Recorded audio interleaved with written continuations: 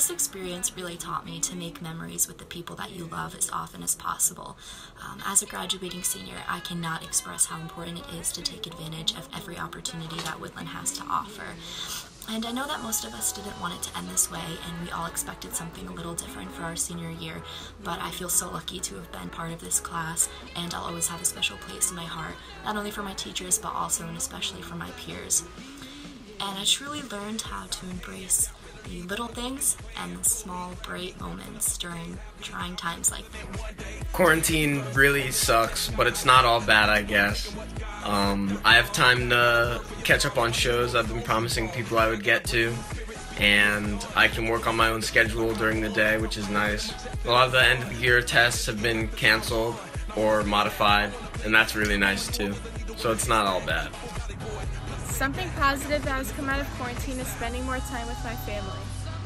During quarantine, I went one week without taking a shower. Hey, Woodland.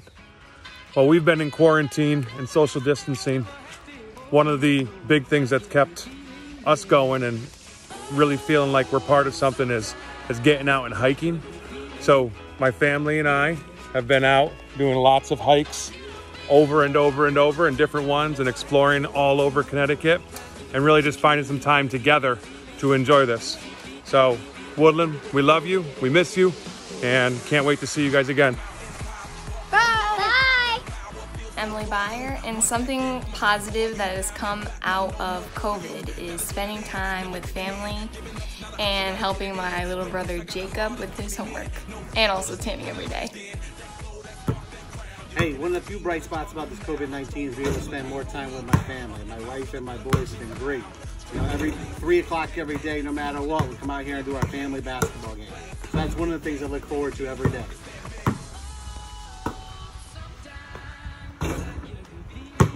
Maybe not. One positive thing that I got from being stuck in quarantine was that I've been able to spend a lot more time with my family, especially my little brother and my little sister. I've been able to spend a lot of my time outside, and I also discovered that I really like to paint and make bracelets. I like quarantine because I don't have to go to school. I like quarantine because I get to sleep in.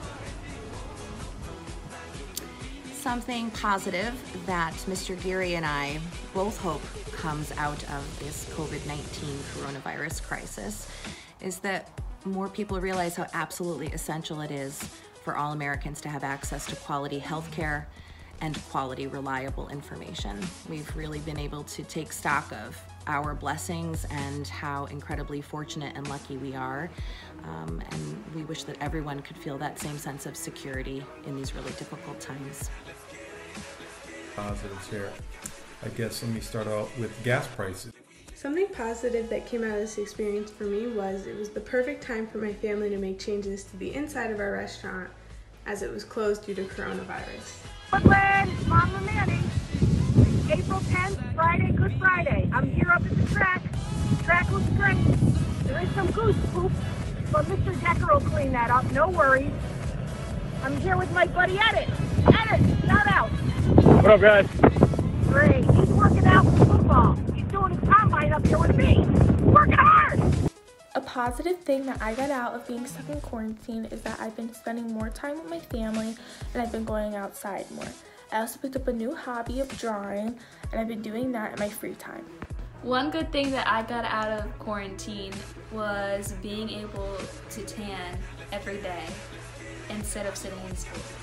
I haven't had my vision checked recently, which is a good thing because every day when I get up and look in the mirror, that guy that looks back at me seems to be getting more handsome every day.